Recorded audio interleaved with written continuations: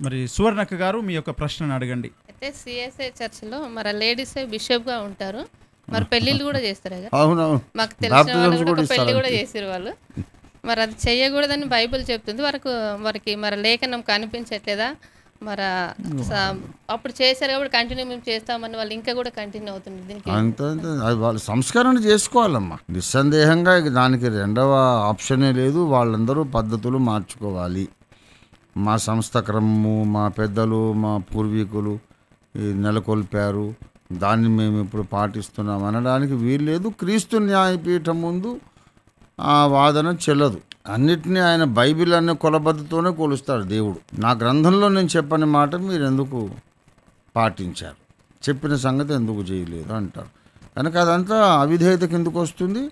దానికి సంస్కరణ అవసరం. ఏ సంఘమైనా సరే మార్చుకోవాల్సింది. ఓకే.